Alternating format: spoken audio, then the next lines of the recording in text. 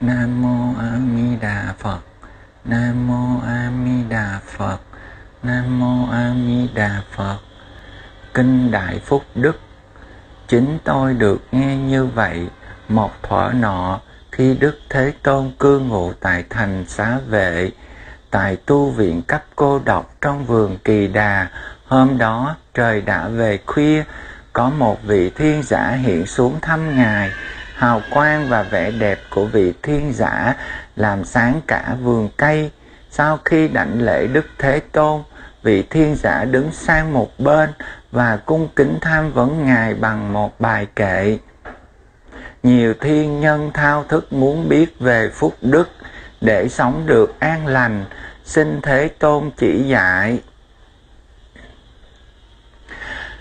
Nên tránh kẻ xấu ác hãy gần bậc hiền lành, cúng dường bậc đáng kính, là phúc đức lớn nhất. Sống trong môi trường tốt, đã tạo tác nhân lành, được đi trên đường chính, là phúc đức lớn nhất. Có học có nghề hay, biết hành trì giới luật, biết nói lời ái ngữ, là phúc đức lớn nhất.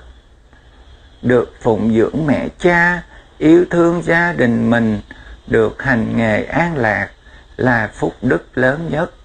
Sống ngay thẳng bố thí, giúp quyến thuộc thân bằng. Hành xử không tỳ vết là phúc đức lớn nhất. Tránh không làm điều ác, nên xa các tội lỗi.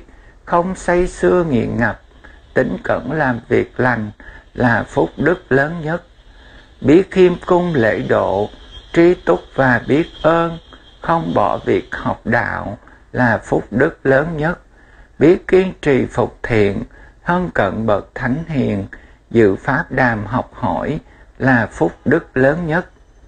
Sống tinh cần tỉnh thức, học chân lý nhiệm màu, thực chứng được niết bàn là phúc đức lớn nhất. Sống chung đụng nhân gian, tâm không hề lay chuyển, phiền não hết an nhiên, sống hoàn toàn an tịnh là phúc đức lớn nhất.